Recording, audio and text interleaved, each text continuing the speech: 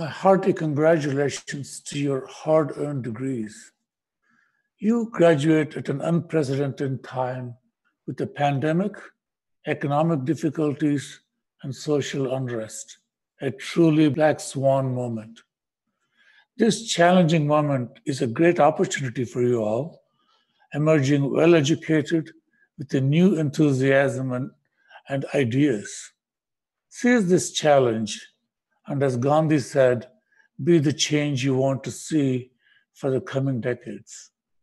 Make a new world that is sustainable and unaffected by disease, and one that treats everyone equally. Congratulations and go get them.